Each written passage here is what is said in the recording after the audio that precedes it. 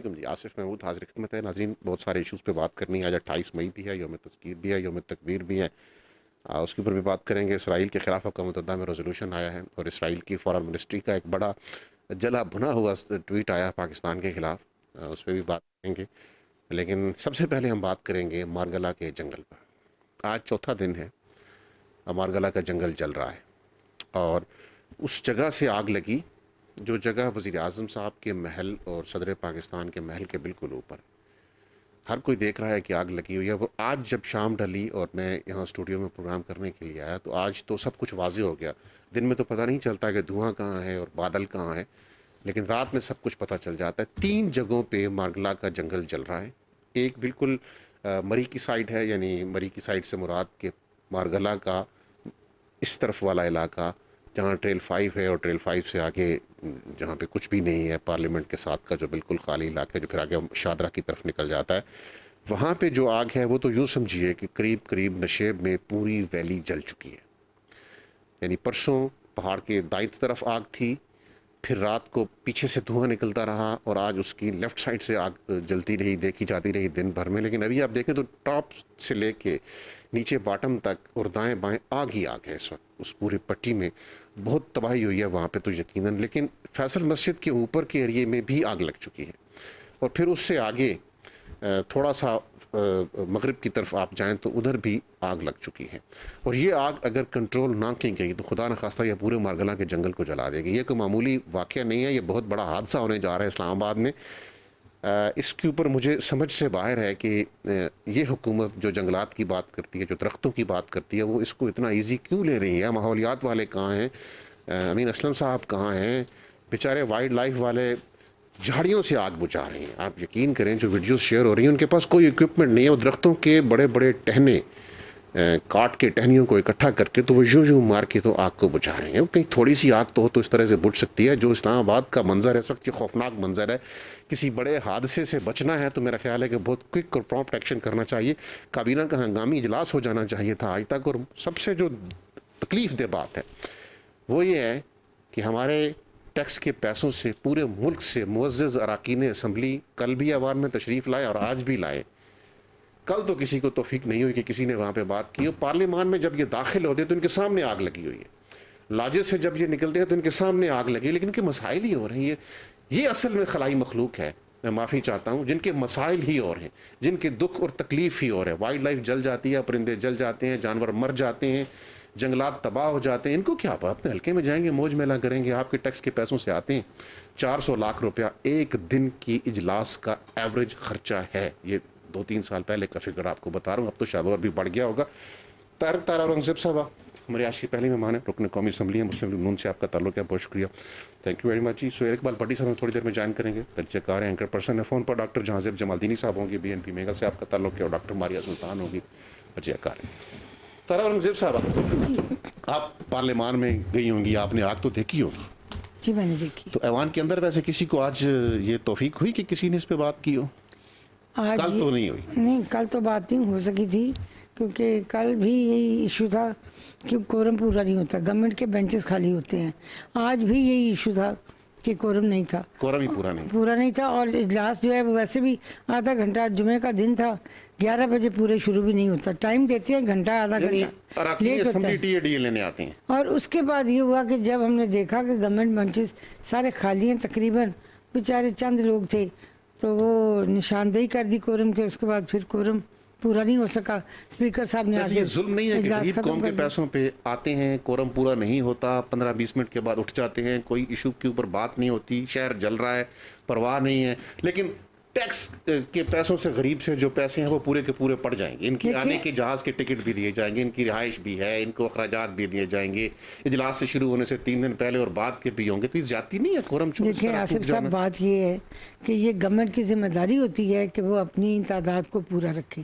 क्योंकि पहले सबसे एक होता है क्वेश्चन आर जो असम्बली में तलावत के बाद शुरू जब होता है, अजलास तो क्वेश्चन आर होता है, जो अपोजिशन के ज़्यादा लोग क्वेश्चन देते हैं। उनकी ज़ाहिर है कि ये कंसर्न भी होता है हल्कों का, लोगों का भी। आवाम सा भी आवाम का भी तो वो जो क्वेश्चन आर था, वो भी नहीं हो सका, क्योंकि मिनिस्टर ही नहीं जवाब देने के लिए जब मुतलका लोग ही नहीं बैठे सीटों पर तो क्वेश्चन किससे किया जाए? हर क्वेश्चन तो डेफर नहीं किया जाएगा। बड़ी मेहनत से अपोजिशन क्वेश्चन तैयार करती है। और जब क्वेश्चन तैयार करने के बाद वो क्वेश्चन नंबर बोला जाता है और मुतल सीट को देखा जाता है तो वहाँ मिनिस्टर मौजूद नहीं होते। मुतलका लोग नहीं होते। तो फिर अपोजिशन था हार के क्या करे? इस पर वैसे पार्लियामान का कोई कानून नहीं है कि इस तरह जब इजलास में सवाल पूछे जाए तो मिनिस्टर को होना चाहिए, या वो कितने कितनी सिटिंग नहीं के लिए ये हाजिर रह सकते देखिए ये हैं वो? उनकी इखलाकी ज़िम्मेदारी है कि अगर वो नहीं किसी कोई भी इमरजेंसी हो सकती है हाँ। तो वो किसी दोस्त मिनिस्टर से कहें कि तुम तैयारी कर लो ये ले लो मेरे आंसर और इनका आंसर आप तो, आप असेंबली में दे देना उसमें कोई पाबंदी। नहीं कि अगर एग्रीकल्चर का सवाल है तो वो एग्रीकल्चर का मिनिस्टर ही दे एनवायरनमेंट का तो वो एनवायरमेंट का ही दे या कॉमर्स का तो कॉमर्स मिनिस्टर ही जवाब जैसे उस्मान बुजदार साहब के लिए 25-30 तर्जुमान रखे गए हैं ऐसे एक स्पोक्स पर्सन फॉर पार्लियामेंट हो जाए जो सारों की जवाब नहीं देता रहे देखिए फौज ज़फ़र मोहित तो पहले ही असेंबली में मौजूद है। असेंबली की कितने तो एडवाइजर हैं कितने मिनिस्टर हैं कितने स्टेट मिनिस्टर हैं। मैं कह रहा हूँ, मैं नया नहीं कह रहा मैं एक और बात यहाँ आज प्लेटफॉर्म में बताऊँ कि जो खवातीन उन्होंने पार्लियामानी सेक्रेटरी बनाई हैं आप यकीन जाने बहुत अच्छा काम कर रही हैं। हालाँकि वो गवर्नमेंट बेंचेस पर बैठती हैं। हर एक अपनी बसात के मुताबिक अपनी अकल के मुताबिक तैयारी करके आती है। हर क्वेश्चन का आंसर देती है। सिर्फ़ मेल मेंबर्स जो हैं वो बड़े लापरवाह यानी हुकूमत की खवातीन अराकीन ठीक हैं बिल्कुल। देखिए वो बड़ी ज़िम्मेदारी से आंसर देती हैं। वो तैयारी करके आती हैं उनको पता ये हमारी ज़िम्मेदारी है। लेकिन जो मेल मेंबर हैं वो बिल्कुल परवाह ही नहीं करते क्या क्वेश्चन किसका क्वेश्चन किस मिनिस्ट्री का क्वेश्चन देना नहीं देना। आए ना जाए उनका कोई परवाह नहीं। हमारे साथ हैं जी डॉक्टर जहांजेब जमालदीनी साहब बीएनपी मेंगल साहब का तल्लुक है पार्लियामान लीडर हैं सेनेटर हैं। डॉक्टर साहब सलाम अलैकुम सर। डॉक्टर साहब आज तो सबसे पहला दुखड़ा तो मारगला की आग का है सर। तीन तीन चार दिन से जंगल जल रहा है डॉक्टर साहब। कोई पार्लियामेंट में भी इस पे कोई आवाज़ नहीं उठ रही। कोई इस्लामाबाद की सिविल सोसाइटी भी नहीं बोल रही। डॉक्टर साहब ये बहुत बड़ा हादसा हो सकता है। तीन दिन से तो एक साइड जल रही थी, अब तो तीन जगहों पे जंगल में आग लगी हुई है, सर। साहब, आप बिल्कुल सही फरमा रहे हैं, जिसमें दो राय हो ही नहीं सकती। पहली बात तो ये है कि सबको पता है और यहाँ पे जो है ना पचास गाड़ियाँ गुजरती हैं, पार्लियामेंट से भी तमाम चीज़ें दिखती हैं, आगे से, पीछे से, हर एक इलाके से जो है ना, आप उसे देख भी सकते हैं। लेकिन खराब पहलू ये है कि हम कहते हैं वन बिलियन ट्रीज हम लगवाना चाहते हैं। देखिए अब प्रीएम्प्टिवली जब बिलियन ट्रीज आप लगवाना चाहते हैं तो उसकी प्रोटेक्शन और उन्हें जो है ना सेफ़ गार्ड करने की खातिर आपने इंतज़ाम करना, उसकी आपकी रिक्वायरमेंट भी है और स्टेट का काम भी है। अब आप अंदाज़ा करें कि मैं आपको एक मिसाल दूँ कि आपके जितने भी डिस्ट्रिक्ट हैं, छोटे इंक्लूडिंग बलोचिस्तान, सिंध और फाटा अगर वहाँ पे कहीं आग लग जाती है तो उनके पास फायर ब्रिगेड है नहीं। रोड है, जंगलात है, बिल्डिंग्स है और बाकी तमाम जितनी भी जो है सहूलियात है, गवर्नमेंट की वो है। जब हम जो है ना प्रीएम्प्टिवली जो इस बारे में सोचते ही नहीं है, इसके लिए जो है प्रिपरेशन ही नहीं करते, फकत हम कहते हैं कि प्लांटेशन हो और डिफॉरेस्टेशन हम रोके। It's okay, it's very nice. लेकिन सवाल ये पैदा होता है कि जो प्लांटेशन हो चुकी है ऑलरेडी आज से जो है ना, कम से कम जो है ना, चालीस, पचास साल पहले, उन दरख्तों को जिनमें निहायती कीमती दरख्त इस वक्त हमारे पास मौजूद है, उनको बचाने की भी तो हमें कोशिश कर लेनी चाहिए। वहाँ पे आप अंदाज़ा करें कि वाइल्ड लाइफ तबाह होती जा रही है। मरगला इतनी खूबसूरत जो है ना व्यू है, उसी के नाम से लोग कमाते हैं। वहीं पे आना जाना होता है, वहीं पे हैकिंग होती है, वहीं पे ऊपर जाके खाना खाते हैं। और पचास गाड़ियाँ मतलब ऊपर जाते हैं और कम से कम 200 गाड़ियाँ नीचे आती हैं, इस सिलसिला जारी है। लेकिन मैं ये कहता हूँ कि इसमें गुना पार्लियामेंट का भी है, इसमें सोशल मतलब वेस्टर्न क्लास का भी है। तो आपके जो ना समाजी जितने भी अदारे हैं, उनका भी है और सीडीए का भी है और गवर्नमेंट इस वक्त डम ब्लाइंड एंड जो ना आप ये समझे कि उनमें ये जान ही नहीं है कि कम से कम इसे हम बुझा दें।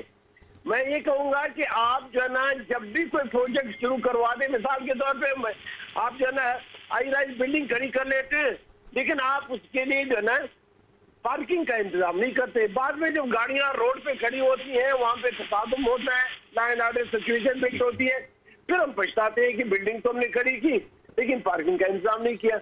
हम तो हमारे यहाँ सोच मौकूफ है रोजदईफ है, कमज़ोर है। हम इस बारे में सोचते नहीं है। हम मैं कहता हूँ डिवार्फिज्म जो से डिवार हो चुके हैं मेंटली हम। फकत हमें जो है ना सीरिया की अथॉरिटीज हो या rest of the ministerial staff हो। फकत उसने जो है ना लोगों की जेबों पे देखना है पैसा कमाना है और पैसा कमा के जो है ना अपनी जरूरियात पूरी करनी है। वरना ये मुल्क जो है नहायत ही कीमती मुल्क है इस बारे में हमने सोचना नहीं है। इस्लामाबाद आप इर्द गिर्द आप देखे इतना खूबसूरत मंजर हम तबाह करने जा रहे हैं। लेकिन परवाही नहीं हमें। डॉक्टर साहब एक एक ब्रेक एक पे जाना है ब्रेक के बाद वापस आएँगे। सुहेल इकबाल भट्टी साहब ने भी ज्वाइन किया है, सुहेल साहब बहुत शुक्रिया थैंक यू वेरी मच एक मुदसर साहब वक्फा लेंगे, वक्त के बाद वापस आते हैं।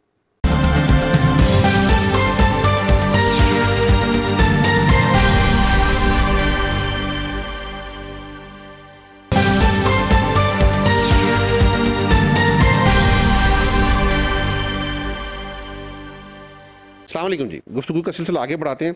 सुहेल इकबाल भट्टी साहब ने भी हमें ज्वाइन कर लिया। सुहेल साहब आपने भी देखा होगा इस्लामाबाद तीन चार दिन से जल रहा है सर। दिल दिल भी जल रहा है इस जंगल के साथ साथ ये क्या हुआ? क्यों हुआ? कैसे हुआ? और क्या हुकूमत क्या करने जा रही है? बैठ कर तमाशा देख रही है सर। असल ये बड़ी दुख की बात है। अभी कुछ देर पहले मुझे वहीं से गुजरने का मौका मिला। मैं सैदपुर विलेज गया किसी काम के सिलसिले में। और जब मैं वहाँ से देखा तो बड़ी तकलीफ़ में लिटरली में गुजरा। गर्चे के मारगला के पहाड़ियों के साथ आपका रोमांस बहुत ज़्यादा है और आपको पढ़ पढ़ के हम हमारे भी जो उनसियत है वो बढ़ गई है इसके साथ। इन्वायरमेंट है हमारा डेफिनेटली हमें होना भी चाहिए। उसके बाद मैं बड़ी तकलीफ़ में जैसे वहाँ से नीचे उतरा तो मेरा डायरेक्शन थी प्राइम मिनिस्टर ऑफ़िस की जानब। तो मेरे लेफ़्ट साइड पर शालीमार ग्राउंड आया। वो जितने साहिब इख्तियार लोग, जिनकी ज़िम्मेदारी थी इसको एमरजेंसी वार फुटिंग के ऊपर हैंडल करना, वो सब वहाँ पे बड़े पुरसकून तरीके के साथ शॉर्ट्स पहने हुए वॉक कर रहे हैं एक्सरसाइज कर रहे हैं, कान में म्यूज़िक लगाए हुए हैं और बिल्कुल उनके ऊपर मार गलक पहाड़ियों का दिल जल रहा था और आग शिद्दत इख्तियार करती जा रही है। एक्शन कोई कर रहा होगा, लेकिन कोई अपेरेंटली सूरज गरूब होने से पहले लग नहीं रहा था कि वहाँ पे कोई हंगामी इंतज़ाम आ रहे हैं, कोई हेलीकॉप्टर आ रहा है या कोई और लोग जा रहे हैं उसको बुझाने के लिए। बुझ जाएगी एफर्ट करेंगे तो। लेकिन अलमिया सबसे बड़ा ये है एक, यहाँ पर एक इम्प्रेशन है, पहले हम भी यही समझते रहे कि यहाँ के टिम्बर माफिया इस सिलसिले के अंदर कार्रवाई करता है। तो ये टिम्बर माफिया की कार्रवाई नहीं है, पहली बात तो ये। ये अनफॉर्चुनेटली यहाँ पे रहने वाले कुछ लोग और मुबैना तौर के ऊपर सी डी ए के अंदर कुछ लोग जो गोश्त मुलाजमीन का काम करते हैं और ऊपर के जो मकामी लोग हैं, चार महीनों के लिए डेली वेजेस के ऊपर कुछ लोगों को भर्ती किया जाता है। मामूली उन्हें डेली वेजेस के ऊपर उनको तनख्वाह अदा की जाती है, एक उनको योमिया बुनियादों के ऊपर साढ़े चार सौ लोग रिसेंटली उन्होंने भर्ती किए हैं इस सीज़न के लिए। मुख्तलिफ़ प्रेशर ग्रुप्स हैं। मुतालबा किया जाता है कि नहीं, मजीद लोग भर्ती करें। अब सी डी ए के जो रेलिवेंट हुकाम है, उन्होंने भी हाथ खड़े कर दिए कि इतना पैसा हम कहाँ से लाएँ कि चार महीनों के लिए आपको आपको फ़ीड दें। और जो लोग भर्ती होते हैं, जिनकी ज़िम्मेदारी है कि इस एरिए को प्रोटेक्ट करना है, वो अपनी डेली बेसिस के ऊपर अपनी जो इनको मिलता है, मुआवजा हासिल करते हैं, वहाँ पर मौजूद नहीं होते। पैसा इसके इसलिए इसलिए वसूल करते हैं कि उसको प्रोटेक्शन करनी है कोई आग ना लगे जंगल की हिफाजत करनी है। लेकिन बदकिस्मती के साथ वो लोग पैसा के अंदराज अच्छा कराने तो के बाद सर की आग लग गई। एक तो ये इशू है लोग भर्ती करने थे इस दफ़ा सी ने नहीं किए लोगों ने गुस्से में रद्द अमल में आग लगा दी। एक तो ये इशू हो सकता है। एक ये है सर कि आग लग गई और जल रहा है इस्लामाबाद सबको नज़र आ रहा है। जी, बिल्कुल। ये वज़ीर आज़म साहब कैसे बैठते सर मैं तो काफ़ी देर तक तो देखता रहा प्राइम मिनिस्टर ऑफ़िस से हमें जो व्हाट्सएप पे मैसेज आता है कि अभी प्राइम मिनिस्टर ने नोटिस लिया अभी मैसेज आएगा। प्राइम मिनिस्टर अभी कोई ट्वीट करेंगे मुतल इदारों को एन डी एम ए को सी डी ए को हदायत करेंगे कि फौरी तौर के ऊपर जहाँ जिन इदारों से हेल्प लें या हेल्प लें और इसको फौरी तौर पर पहुँचाएँ। इस दौर के अंदर इसमें कोई शक नहीं है कि माजी की हुकूमतों के मुकाबले इमरान खान साहब माहौलियात के हवालों से जंगलात के हवाले से सबसे ज़्यादा बात करते हैं। इसमें कोई शक नहीं है। लेकिन उनके शह उनके घर के साथ बिल्कुल इतनी शदीद किस्म की आग लगी हुई है और सरकारी मशीनरी जो हम मुतव तकाजा का जिस चीज़ का है कि वो फौरी एक्टिव होते हैं उसको जाके उसको बुझाने में रोल प्ले करते हैं। अभी तक नहीं लगता सारी रात दुनिया में कोई ऐसा नेशनल पार्क कहीं और है? सुना है देखा है आपने? दुनिया में ऐसे जहाँ वाक़ आपने नेशनल पार्क बना दिया और आपके पास आग बुझाने का। आपने वीडियोस देखी है वो? टहनियों से आग बुझा जी यही यही उनके पास एक तरीका है। दुनिया भर में इसका बदकिस अनफॉर्चुनेटली इस टाइप के इक्विपमेंट्स नहीं। है। इक्विपमेंट नहीं है। इंसिडेंट होते हैं लेकिन मेरे ख्याल में इमरान खान साहब को प्राइम मिनिस्टर को परमानेंटली इसका नोटिस भी लेना चाहिए। टीमें मूव करनी चाहिए। जिन मुतल इदारों से हेल्प लेनी है हेलीकॉप्टर की हेल्प लेनी है वो लें इसको पहुंचाएँ। और उसके बाद तेज़ी से फैल रही है, जी एग्जैक्टली और उसके बाद ये पूरा जंगल जल जाएगा। जी बिल्कुल वाइल्ड लाइफ जो उस जंगल के अंदर है जो उस पार्क के अंदर है उसकी जान कैसे बचेगी? वो भी तो सारे परिंदे जो, वहाँ पे इतने परिंदों की कुछ जली हुई तस्वीर हैं काश मैं शेयर कर सकता हूँ। देखिए ना ये मुझे तो कुछ दोस्तों ने भेजी हैं। मुझे सबसे बड़ी हैरत है अमीन असलम साहब क्या कर रहे हैं? जो इस चीज़ के। मुतलका मिनिस्टर हैं। ये तो सारे सिर्फ़ ट्विटर के मैं अब सख्त लफ्ज तमाशबीन तो नहीं कह सकता। ट्विटर के गाजी कह लें आप। हाँ पता नहीं ये क्या सारा जो हरकत अच्छा ये ये बताएँ ना एक तो वो अपना ईंधन की, के लिए जंगल को काटते हैं, ठीक है? एक इशू तो ये बताया जा रहा है। अगर ईंधन के लिए काटते हैं तो हर साल इतना जंगल जलवाने से बेहतर नहीं है कि उन तक सुई गैस पहुँचा दो। ये वैली के पीछे तीन चार गाँव हैं। ये भी हो सकता और दूसरी बात ये कि जिस तरह मोहम्मद नवाज़ शरीफ साहब ने किया था कि मकामी लोगों को भर्ती किया था ताकि वो लोग थोड़ा रोज़गार उनको थोड़े पैसे दे के रोज़गार दे दिया जाए ताकि वो अपनी चीज़ की खुद हिफाजत कर सके। कम्युनिटी को एंगेज किया था। उन लोगों को मकामी आबादी को एंगेज किया गया था तो उससे फिर फ़र्क पड़ता है। क्योंकि जब ये मकामी लोग खुद अपनी हिफाजत नहीं करेंगे चीज़ हाँ। की तो बाहर वाले को क्या दर्द हो सकता है? और बड़े दुख की बात है कि पार्लियामेंट में आते जाते भी वो धुआँ नज़र आ रहा है और सारे मेंबर्स जब बाहर निकलते हैं तब भी देखते हैं अंदर जाते हैं तब भी देखते अंदर जाके उन्हें तौफीक नहीं होती वैसे नहीं अंदर मैंने आपसे पहले इसकी कोरम ही नहीं होता। ठंडे कमरों में तो भूल जाते वैसे ही पार्लियामेंट नहीं नहीं भूल नहीं जाता। माहौल होता नहीं जी जी जब कल तो कल तो कल तो आप बहुत लेट निकले कल तो आप पौने आठ बजे असम्बली से निकले आप सारे लोग। मैं उधर से गुजर रहा था कल तो। नहीं बिल्कुल कल तो गुफ्तगू भी हुई। लेकिन जो ये वैसे कैसी नुमाइंदा पार्लियामान है कि जंगल जल रहा है लोगों के दिल जल रहे हैं और आप अंदर मज़े मज़े से अपनी पता नहीं क्या बातें करते रहते हैं आप। मियाँ साहब को ये हो गया इमरान खान साहब की फजीलत और बरकत से ये हो गया। एक तो मैं मुँह से कुछ कहना नहीं चाहती हम मुसलमान है। लोगों ने समझ लिया कि एक पीरनी जो अंदर है वो सब चीज़ों पे काबू पा सकती है। हालाँकि ऐसा नहीं होता नहीं, नहीं, गैर सियासी शख्सियात के बारे में नहीं मैं कहती हूँ लोग जो मुतलका लोग हैं। हाँ। सही है। देखिए खवातीन वैसे ही काबिल एहतराम है और मतलब नहीं सही है। लेकिन मुतलका मिनिस्टर मुतलका महकमे मुतलका महकमे पे बात करें मुतलका वज़ीर पे बात करें। होने चाहिए। अगर हेलीकॉप्टर लेके भी आग बुझानी पड़ सकती है तो फ़ौरन एंगेज किए जाए ताकि वो आग बुझे। और वहाँ के लोग भी सुख का सांस लें और जो वाइल्ड लाइफ उस अंदर उस पार्क के अंदर है वो भी बचाई जाए सुहेल भट्टी साहब डिप्टी कमिश्नर साहब ने जो तमाशा लगाया मैं माफ़ी चाहता हूँ मैं ये लफ्ज़ इस्तेमाल कर रहा हूँ। छः खुशामदी या दरबारी लेके वो गए सफ़ेद कपड़े काली वेस्ट कोट जंगल देखने जा रहे हैं आग लगी हुई देखने जा रहे हैं वीडियो शूट हो रही है। चार उनके पीछे खुदा में अदब खड़े हैं दो सामने खड़े हैं छः हो गए सातवां उनकी वीडियो बना रहे हैं। और उन्होंने ट्वीट किया है कि ये आग इन अवाइल बुझ जाएगी। और उस इनावाइल को आज तीसरा दिन है। हम्म। और मैं उनके ट्विटर अकाउंट पे गया हूँ उसके बाद उन्होंने और कोई ट्वीट नहीं किया। वो अपने कैमरामैन को लेकर शायद किसी नए महाज पे निकले होंगे। ये जो ब्यूरोक्रेसी में ट्रेंड आया है कि आप ज़मीन पे कुछ ना करें ट्विटर के ऊपर ट्वीट कर दें और नीचे मेरा ख्याल है एक पूरा खुशामदियों का एक पूरा ग्रुप है टाउटों का जो वाह वाह करते हैं। हम्म। सुबह अल्लाह डिप्टी कमिश्नर साहब सुबह अल्लाह कमिश्नर साहब सुबह अल्लाह एसी साहब। ये जो ब्यूरोक्रेसी में कल्चर आया है ये कैसा कल्चर है? इसको मैं थोड़ा सा इस एंगल से भी देखता हूँ कि ये हमारे सोशल मीडिया ने और जो लोग ब्यूरोक्रेसी की परफॉर्मेंस के ऊपर बात करते हैं कि उन्होंने प्रेशर बिल्ड ज़रूर किया है। यही ब्यूरोक्रेसी पहले विज़िट नहीं किया करती थी ऐसे इवेंट्स के ऊपर, ऐसे मौके के ऊपर, दफ्तरों में बैठते थे। अब ये ज़रूर है कि ये दफ्तर से निकल कर जाए वारदात तक पहुँच जाते हैं। क्योंकि मजबूरी है कि आपने ट्वीट करना है पिक्चर चाहिए आपको है वैसे चाहिए। उनका शुक्रिया भी बनता है कि इस्लामाबाद में गया है तो डिप्टी कमिश्नर गया है और किसी को और कोई नहीं हालाँकि सीडीए के रेलेवेंट डिपार्टमेंट एनडीएमए को बुलाना चाहिए था। जितने फायर फाइटिंग एक्सपर्ट रख, एक्सपर्टीज रखने वाले उनको जाना चाहिए था।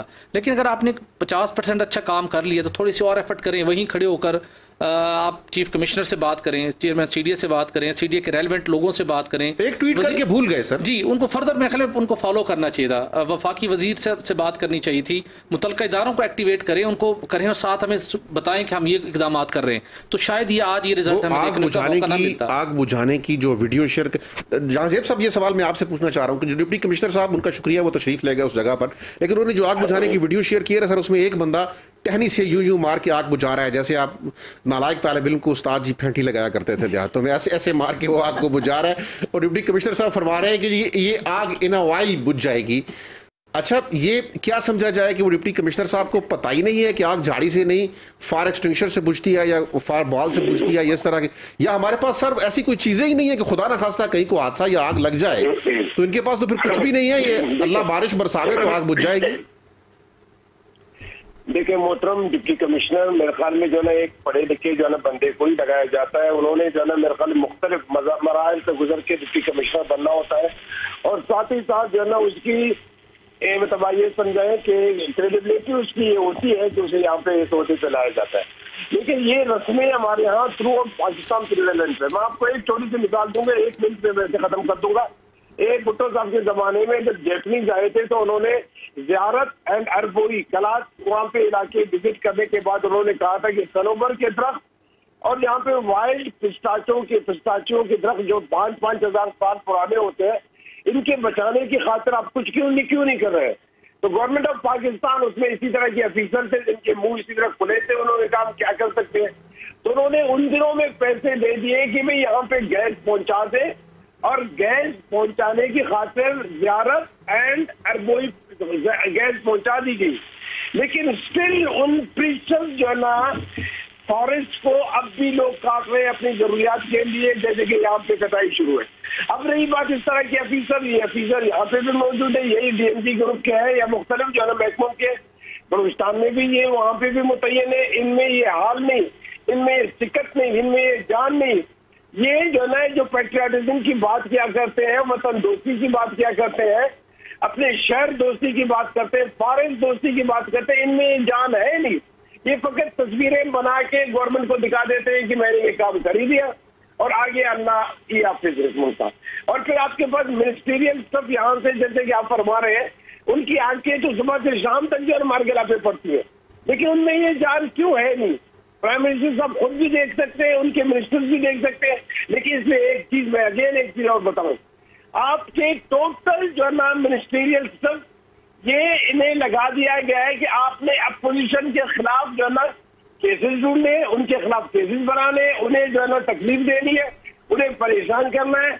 और अगर ये टोटल जो है ना इन इनका जो है ना रुख उनकी तरफ़ होगा तो फिर आपके जो है ना आग बुझाने सिविल सोसाइटी में चोरी चकारी से लोगों को बचाने ट्रैफ़िक के इंतज़ाम ठीक करने और रेस्ट ऑफ़ जितने भी जो है ना मतलब आपके रिक्वायरमेंट्स है आपके सिस्टम के उन्हें कैसे ठीक कर पाएँगे? असल में लगा दिया गया है एक प्रोग्राम के तहत कि आपने जो है ना अपने मुखालिफिन को जेर करना और कुछ ही नहीं करना। और ये बीमारी हमारे यहाँ आज से नहीं है इससे पहले भी थी आज भी है और तो डॉक्टर साहब डॉक्टर साहब डॉक्टर साहब क्या मारगला की आग बुझाने का फिर वाहिद यही तरीका रह गया है कि पूरा शहर ये शोर मचाना शुरू कर दे कि ये आग भी नवाज़ शरीफ ने लगाई है और इसका जिम्मेदार भी नवाज़ तो शरीफ है। आप देख रहे हैं यही फिर शायद ये भागते हुए जाएँ कि ये मुस्लिम लीग नून की करतूत है और हम ठीक करने जा रहे हैं। आबादी के हुक्मरानों ने कोई खास इंतज़ाम नहीं किया यहाँ पे प्रियमटिव मेजर नहीं लिए। यहाँ पे जो है ना हेलीकॉप्टर और दीगर जराए आग बुझाने का इंतज़ाम उन्होंने नहीं किया।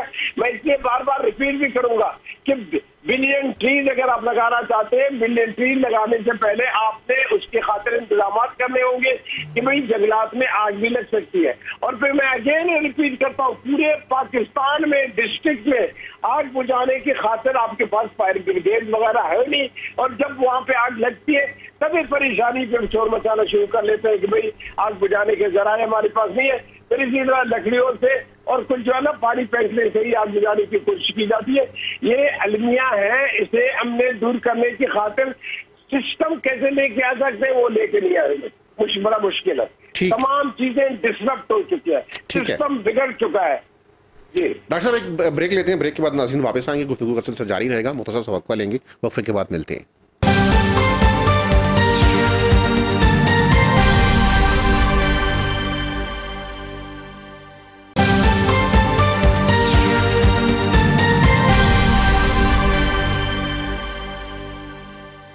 वेलकम बैक जी गुफ्तु का सिलसिला आगे बढ़ाते हैं। योम तकबीर पे बात करते हैं जी। तारा रंगजेब साहब ये बहरहाल बहरहाल ये काम नेक काम आपके दौर हुकूमत में हुआ था। और अगर किसी भी गलत काम का बोझ वजी अजम पे होता है तो फिर अच्छे काम का क्रेडिट भी जितना बनता है उतना देना चाहिए। क्या कहती हैं आप? मैं तो ये ईमान की हद तक यकीन रखती हूँ कि जिस आदमी से जो काम अल्लाह ताला ने लेना होता है उसी को मुकर्र किया जाता है कि इससे मैंने ये काम लेना है। और ये मोहम्मद नवाज़ शरीफ का एक बहुत बड़ा क्रेडिट है कि उनके दौर में और उनके हाथों चागी के पहाड़ पर जाके ये वाक़ हुआ वकूफ़ पजीर और सबसे बड़ी बात यह है कि दुनिया में, पूरे अकवाम आलम में और ख़ास तौर पर मुस्लिम उम्मा में ये पता लगा कि पाकिस्तान एटमी कुत है, जिसके रोकने के लिए एक बहुत बड़ी ताकत मियाँ नवाज़ शरीफ को रोक रही थी, लेकिन उन्होंने बात नहीं सुनी और उन्होंने ये धमाका किया और उसके बाद जितने इर्द गिर्द के सराउंडिंग्स के हमारे मुल्क हैं देखिए हमसाए ये उनका बड़ा दलेराना फैसला बड़ा था। दलेराना फैसला लेकिन था। एक सवाल एक, एक सवाल है मेरा है आपसे। मेरा है। मेरा ये एतराफ करने के बाद कि मियाँ साहब का क्रेडिट मियाँ साहब का ही है जितना बनता है। मेरा आपसे सवाल ये है कि बाद में आप लोगों ने यूँ कंपेन चलाई कि यूँ लगा कि जैसे एटम बम बना इतफाक फाउंड्री में है। यानी सारा कुछ आप नहीं किया हत्या कि आप डॉक्टर कदीर का नाम भी भूल गया सिर्फ़ मियाँ साहब की खुशामद में शुरू हो गया जैसे आजकल इमरान खान साहब की हो रही है। और किसी 28 मई पे मुस्लिम लीग नून के किसी बंदे को ये तोफीक नहीं होती कि वो खुद ना जाए तो एक फूलों का बुके ही भिजवा दे डॉक्टर कदीर साहब के घर के बाहर, अलामती मोहब्बत के तौर पे कि डॉक्टर साहब, आपका भी एक रोल था जैसे मियाँ साहब का एक रोल था। डॉक्टर ए खान साहब को तो आप सारे लोग गुनाह की तरह भूल गए और यूँ लगता है कि एटम बम बनाने वाले भी मियाँ साहब, पेंट करने वाले भी मियाँ साहब, और कभी चलाना भी पड़ा तो मियाँ साहब ही नहीं, बाहर से आके चलाना है। ये जो अकीदत में मतलब एक्सजरेट करते हैं चीज़ों को, ये तो गलत बात है ना। डॉक्टर ए खान साहब के पास आज भी कोई आपकी तरफ़ से, उनको क्रेडिट का किसी ने बयान तक नहीं दिया। मियाँ साहब के फजाइल ही हुए हैं हर तरफ़। देखिए, मेरी बात सुने। आपने बिल्कुल ठीक कहा कि डॉक्टर कदीर खान साहब को भी इसका, उनका शेयर मिलना चाहिए। लेकिन वो तो इस वो तो जब से पाकिस्तान आए और उन्होंने इस एटम बम की तैयारी शुरू की काउटा एटमी प्लांट पे, उसके बाद तो वो खुद एक बेचारे कैदी होकर रह गए। उनसे तो मिलने के लिए भी लोग तरस जाते हैं कि उन्हें मुलाकात की जाए, कैसे की जाए, पूरा एक वहाँ गार्ड है जो उनके घर के चारों तरफ़ सराउंडिंग्स में। मैं तो ई सेवन जाती हूँ क्योंकि उनके नेक्स्ट डोर नहीं वो उनकी हिफाजत के हवाले से सिक्योरिटी पहले दिन से रही है। आप गेट पे फूल फूल पहुँचा दें। वहाँ पे भी नहीं तो ट्वीट कर दें कि डॉक्टर की खान साहब आपका और आपकी टीम का भी शुक्रिया। ये तो कर सकते हैं ना। मरियम साहब तो हर वक्त ट्विटर पे होती है। ये तो कर सकती है ना खान साहब आपका भी बहुत शुक्रिया। मैंने मियाँ साहब की तरफ़ से उन्हें आज भी फूल भिजवाए अच्छा। क्योंकि उनकी नेक्स्ट डोर नेबर मेरे देवर की बेटी है तो अच्छा। रहती है। तो मैंने उसको कहा कि ये मैं तुझे भिजवा चलो ये बड़ी अच्छी ये बड़ी अच्छी बात है। डॉक्टर मारिया सुल्तान हमारे साथ हैं। डॉक्टर साहब अस्सलाम वालेकुम। अस्सलाम वालेकुम जी। डॉक्टर साहब थोड़ा सा स्ट्रेटेजिकली एक सिनारो थोड़ा सा डिस्कस कर दीजिए हमें थोड़ा सा गाइड कर दीजिए कि अट्ठाईस मई जिस दिन हमने टेस्ट किया उससे पहले और बाद के पाकिस्तान में कितना एक फ़र्क है? स्ट्रेटेजिकली डिप्लोमेसी के हवाले से कितना एक स्ट्रेंथन है पाकिस्तान उस वक्त में और आज में? मेरे ख्याल से जी अट्ठाईस मई उन्नीस सौ अठानवे के बाद जो फ़र्क है वो ज़मीन आसमान का क्योंकि ना सिर्फ़ उससे आपने अपने खिलाफ जो है एक बड़ी जंग का आगाज़ को रोका है बल्कि जो मैंने अवी प्रेशर था जो बिलखसूस जो अफ़गानिस्तान की जंग थी हिंदुस्तान की तरफ़ से बहुत बार आपने देखा 2001, 2002 उसके बाद 2006, 2007 फिर 2008, 2009 फिर 2011, 2012 यानी मुख्तलिफ़ अवकात में और फिर उड़ी और फिर आखिर दौड़ी के बाद बालाकोट। हर किसी हर मौके के ऊपर हिंदुस्तान ने कोशिश की कि आप पे किसी किस्म की जंग आयद कर सके। लेकिन हर मौके के ऊपर पाकिस्तान की एटमी कुत और एटमी सलाहियत उनके, उसके सामने सीसा फलाई हुई दीवार के तौर पर मौजूद थी। इसके अलावा स्ट्रेटिकली इसने ना सिर्फ़ आपको एक बड़ी जंग से जो है महफूज किया पाकिस्तान को, लेकिन पाकिस्तान की जो अहमियत है बैन अवी सतह उसके अंदर भी बहुत ज़्यादा इजाफा किया है। ये बिलूम समझा जाता है और शायद ठीक ही समझा जाता है कि डेटरेंस का किरदार अदा करता है। क्या पाकिस्तान और इंडिया के हवाले से पाकिस्तान की एटमी कुत एक वाकई मौसर डेटरेंस का किरदार अदा करती आई है और करती रहेगी? या इसके होते हुए भी खतरा है कि कुछ ना कुछ किसी वक्त हो सकता है रवायती वार की तरफ़ कुछ बढ़ सकते हैं मुल्क? देखें ये जो मैंने अभी वाकयात आपको करवाए हैं दो हज़ार एक से लेके दो हज़ार उन्नीस तक ये मुख्तलिफ़ अवकात हैं जिसमें हिंदुस्तान ने कोशिश की कि आप पे जंग आयद करे, लेकिन डिटेरेंस की वजह से जंग वो आप पे आयद नहीं कर सके। लेकिन इसके साथ साथ जितनी तो जितनी तेज़ी से टेक्नोलॉजी के अंदर इजाफा हो रहा है, तेज़ी से जंगी महाज के ऊपर टेक्नोलॉजिकल वॉरफेयर सबकत जो है इस तरह से लेके जाने की कोशिश करे तो उसमें जंग का खतरा तो ज़रूर रहता है। लेकिन ये बात वाजह हो चुकी है हिंदुस्तान के ऊपर कि कोई भी मुस्तबिल में जो जंग है, जो पाकिस्तान के खिलाफ वो लड़ने की कोशिश करेंगे वो इतनी आसानी से बगैर किसी जवाब के पाकिस्तान की तरफ़ से बगैर किसी रद्दा अमल के मुमकिन नहीं हो सकेगी। तो एक लिहाज से आपके पास जंग के खतरा ज़रूर रहेंगे, क्योंकि इस किस्म की तमाम तर कोशिश आपका दुश्मन करता रहेगा। लेकिन इसके साथ साथ जो आपकी एटमी सलाहियत है, वो आपको एक बहुत बड़ी ताकत के तौर के ऊपर आपके साथ है, और उसके तहत आप एक अपने मुल्क पे एक बड़ी जंग को रोकने में बड़ी हद तक कामयाब हो सकते डॉक्टर साहब अगर सदे जा रहीत की कुत दोनों ममालिक के पास मौजूद है जो उनको रवायती वारफेयर से रोकेगी तो फिर क्या ये जो ट्रेडिशनल वारफेयर है इसके अखराज एक्सपेंडिचर थोड़े कम नहीं हो जाने चाहिए दोनों ममालिक में? देखिए रवायती तौर के ऊपर तो यही नुकता नज़र रखा जाता है लेकिन अफसोस की बात यह है कि इस वक्त इस खत्े के अंदर जितनी तेज़ी से तकनीकी तौर के ऊपर हिंदुस्तान की मावनत की जा रही है, अमरीका की तरफ़ से और मगरब की तरफ़ से मगरब के साथ मुख्तलिफ़ मुंसलिक जो दफाई उनके साथी हैं बिलखसूस इसराइल, उसकी वजह से वो बारहा हिंदुस्तान के अंदर ये कोशिश पैदा करने की कोशिश कर रहे हैं कि हिंदुस्तान जो है टेक्नोलॉजी की बुनियाद के ऊपर आपसे एक नॉन कॉन्टैक्ट वॉर आयद कर सके। इसके साथ साथ जो हिंदुस्तान की अस्करी हमत अमली है, उसके अंदर भी वो अपनी कुत को तैयार करे एक अस्करी जंग लड़ने की, जो एटमी जो है सूरत हाल में या एटमी ओवरहैंग के अंदर वो आपने आयद कर तो इस सूरत हाल में मसला ये है कि डिटेरेंस जो है सिर्फ़ उस वक्त काम करती है, अगर दूसरी साइड की इस बात को जाने। इस वक्त वो बजाय इसके कि वो आपसे बातचीत करें, बजाय इसके कि उस खत्े के अंदर कोई आर्म्स कंट्रोल करें, यानी जिसके तहत हथियारों की रोकथाम का कोई मामला तय पाए। हिंदुस्तान इस वक्त कोशिश में कि किसी तरह वो आपके ऊपर सबकत हासिल कर सके और आप पे एक स्पेस ढूंढ सके जिसके तहत आप पे जंग आयद कर सके। ठीक। यही वजह है कि आप टेक्नोलॉजिकली इस जिद्दत की बदौलत आपको रवायती अपने हथियारों के ऊपर भी ज़ोर देना पड़ेगा ताकि कोई जगह ऐसी ना हो जो आपका दुश्मन आपके खिलाफ ठीक हो गया। बहुत शुक्रिया डॉक्टर साहब। थैंक यू वेरी मच आप हमारे साथ शरीक गुफ्तु रही। सुहेल भट्टी साहब मैं आपकी तरफ़ आता हूँ। और गालिबा मैं आपसे आखिरी सवाल है। ये आज के प्रोग्राम का वक्त कम है। ये जितना हमने हुकूमत को तनकीद भी कर ली, ज़ाहिर है, हुकूमत है, हुकूमत पे हमारा काम है तनकीद करें। At the end of the day आप कैसे विजुअलाइज करते हैं कि तीन साल में हुकूमत बेहतरी की तरफ़ जा रही है, अबतरी की तरफ़ जा रही है, जैसे पहले दिन थी, ऐसी खड़ी है? देखिए, मामला ये है, पहले थोड़ा सा इसको समझना होगा कि जो इमरान खान साहब ने कौम की तो जिस पीक पर लेकर गए थे, और जिस तरह सबको उन्होंने कहा था जी कि हुक्मरान ऊपर ऐसा है तो डॉलर की कदर एक रुपये बढ़ जाए तो समझिए ऊपर वाला करप्ट है, पैसा बाहर जा रहा है। उन वजह से लोगों की तो बहुत ज़्यादा थी, जितने बयान थे, उस तरह से जो उनके बयान थे, वादे थे, तब्दीली नहीं आ सकी। लेकिन अब मामला क्या है? एक दफ़ा आपने इतने मौशी तौर पर हिट हुआ कि अब आपकी ग्रोथ माइनस में चली गई। अब कोविड के बाद economic activity world wide revive हो रही है तो पहिया मौशियत का चलना शुरू हो गया और सबसे बड़ी बात, वो टीम जिसके ऊपर जिनको गवर्नमेंट के लिए और पब्लिक के लिए काम करना चाहिए था वो आई के साथ कनेक्ट थी। खान साहब ने उसको टीम को हटाया। अब अनपॉपुलर डिसीज़न किए जा रहे हैं जो कि अवाम को और ग्राउंड रियलिटीज़ को मद्देनजर रख के किए जा रहे हैं। चीज़ें मसलन आपने साढ़े चार पे बिजली का फ़ी शेख साहब ने कहा था अप्रूव बिजली महँगी कर दे होल्ड कर लिया उसके बाद मुख्तलिफ़ सनतों को आपने रिलीफ देना शुरू किया। टैक्स नेट टैक्स रेट मजीद नहीं बढ़ाने जा रहे। और उसके बाद जो सरकारी इदारों के अंदर जहाँ पे डिस्करेजिंग एटीट्यूड था वो थोड़ा सा बेहतर हुआ जिसकी वजह से इकोनॉमिक एक्टिविटी आपको कदर बेहतर होती दिखाई दे रही है। डिस्करेजिंग एटीट्यूड कैसे बेहतर हुआ? मैंने अभी आप डायरेक्टरी रिटायरमेंट लेके आ गए कि जो सरकारी मुलाजिम हमें अच्छा नहीं लगेगा हम्म। तीन उसकी ऐसी यारें खराब करके हम उसे घर भेज देंगे। हम्म। तो ऐसे ऐसे तो नहीं बेहतर होता? देखिए ओवरऑल तो बहुत सी असलाहत की ज़रूरत है लेकिन हम थोड़ी सी जो मुशियत के अंदर आपको बेहतरी नज़र आ रही है ना वो एक एक्टिविटी स्टार्ट हो गई बेहतरी है। बेहतरी की तरफ़ सफ़र जारी है लेकिन खान साहब का बेंच मार था फाइव पॉइंट से ऊपर।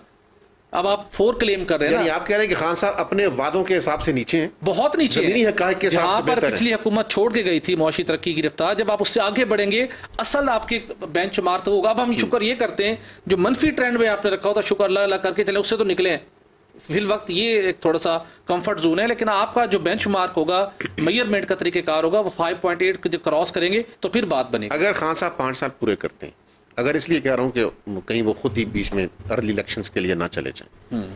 तो जिस पेस से वो जा रहे हैं at the end of the day पाँच साल के बाद वो पब्लिक के सामने इस हद तक सुरखरू होंगे कि वो लोगों से एक हैंडसम वोट लेने की तो रख सक? नहीं मेरा नहीं ख्याल खान साहब का वोट बैंक बुरी तरह से मुतासर हुआ है। अब जितने भी इकदाम करेंगे क्योंकि बहुत सी चीज़ें ऐसी इरिपेरेबल लॉस हो चुके हैं जिसका जितनी भी आप बेहतरी कोशिश करें अगले दो सालों में वो मुमकिन नहीं है। वोट आपने लूज़ किए हैं। आपकी सीटें भी आप आने वाले इलेक्शन में फील ये हो रहा है, ज़िमनी इलेक्शन को अगर हम जो उसके नतज थे, उनको मद्देनजर रखें तो आपको वहाँ पे काफ़ी डेंट पड़ेगा और उसके बाद अगर अगले एक डेढ़ साल में बहुत अच्छा परफॉर्म कर जाते हैं। जितना भी हम कर ले मुश्किल है। बात ही है ना पुरानी मोहब्बत वोटर की जाग जाएगी। खान साहब अच्छे बंदे सन जी। वो एक दोस्त ने बड़ा मसाइल में फंस गए थे अब अच्छे हो गए बड़ा मुश्किल होगा उसके अंदर एक और बड़ा फैक्टर भी एक दोस्त ने बड़ा था तबसरा किया कि जो नून से शीन निकालने की कोशिश की जा रही है और पीटीआई से टी निकालने की कोशिश की जा रही है हम्म। तो ये दोनों फैक्टर डेंट डालेंगे अल्टीमेटली और फिर तरीन साहब का खान तरीन जंगीर तरीन का फैक्टर वो पूरा ग्रुप वो तो नून से शीन निकलेगी तो डेंट तो फिर उधर भी पड़ेगा ना। ना नून से शीन निकलेगी ना शीन से नून निकलेगी। ये तो हकीकत है। ये नहीं निकलनी। और दूसरी बात ये है कि जो फॉरवर्ड ब्लॉक है फ़िलहाल वो पंजाब असेंबली में बन रहा है वो कौमी असेंबली में भी है जिसे राजा रियाज साहब लीड करते हैं। आप उनसे रबते में आपकी पार्टी नहीं देखिए नज़र आता है ना। अच्छा। रोज जहांगीर तरीन साहब के घर वो शायद अपना वज़न बढ़ा रहे हैं कि बजट आ रहा है उन्होंने कुछ मुतालबात रखे होंगे बजट की मजबूरी है ये पूरे कर देंगे हँसी खुशी रहना शुरू हो जाएँगे। मैं इनकी एक बात से बिल्कुल एग्री करती हूँ कि शुरू शुरू में हमाद अजहर साहब से बजट पढ़वाया गया बजट सेशन में। उसके बाद फ़ौरन हफीज़ शेख साहब को लगा दिया गया। जो खुद आईएमएफ के एम्प्लॉय थे जो उन्हीं के एजेंट थे उन्हीं को आपने पूरे पाकिस्तान की माशियत हाथ में दे दी। ना उन्होंने आज तक पाकिस्तान के अवाम से वोट लिया ना किसी हल्के से इलेक्शन लड़ा ना उनका पाकिस्तान के अवाम के साथ कोई इंटरेस्ट है ना हमदर्दी है ना हुकूमत के साथ वो अपना आएँगे और इस इमरान खान की इस परफॉर्मेंस के साथ आप पर उम्मीद है कि अगर इलेक्शन हुए तो आप जीत जाएँगे? देखिए ज़िमनी इलेक्शन दस सीटों पे हुए हैं। नौ सीटें जो है वो हुकूमत हारी है। और पाकिस्तान की तारीख में ये पहली दफ़ा हुआ है कि सिटिंग गवर्नमेंट इतनी सीटें ये हारते तो माने कि हुकूमत ने धांधली नहीं की। नहीं हुकूमत ने हुकूमत ने पुलिस के ज़रिए मैनिपुलेट नहीं किया नहीं नहीं हुकूमत ने आपके दौर में जिमनी इलेक्शन क्यों कोई नहीं जीता करता था? देखें महँगाई की शरह सतारह फ़ीसद हो गई है। तो ये चीज़ सबसे बड़ा फैक्टर है हुकूमत को हलकों में इलेक्शन। हराने का ठीक है प्रोग्राम का वक्त खत्म हो रहा है और आखिर में मैं एक अर्ज़ करना चाह रहा हूँ अगर मुझे फैसल मस्जिद के इमाम साहब सुन रहे हैं मदनी साहब या अगर उनका कोई दोस्त सुन रहा है एक चकशजाद में एक वाटर फिल्ट्रेशन प्लांट था नवाज़ शरीफ साहब के दौर में बना था अ, उसको उस, उस मेयर साहब ने उसका अफ्ताह किया था उसकी तख्ती उखेड़ दी गई है और मदनी साहब की तख्ती लग गई है और लिखा हुआ है कि ये अफ्ताह फैसल मस्जिद के इमाम मदनी साहब ने किया है। और ऊपर लिखा हुआ है कि फलां साहब ने अपने वफात पा गए वालदेन के इसाले सवाब के लिए जनरस डोनेशन दी है। यानी बहुत बड़ी डोनेशन दी है। अब वो डोनेशन अगर मदनी साहब ने खाई है तो खुदा का खौफ करना चाहिए उन्हें। अगर मदनी साहब को पता ही नहीं है और सीडीए ने वारदात डाल दिया तो फिर मदनी साहब को अपनी सादगी के ऊपर मतलब परेशान होना चाहिए। लेकिन अगर आप फैसल मस्जिद के इमाम हैं जनाब और आप लोगों की जनरस डोनेशन के ऊपर यूँ वारदात डालते हैं या उसमें सहूलतकार बनते हैं कि आप सिर्फ़ तख्ती बदल देते हैं और आप अपने मनसब के साथ भी ज्यादती कर रहे हैं, आप खयानत भी कर रहे हैं अमानत में।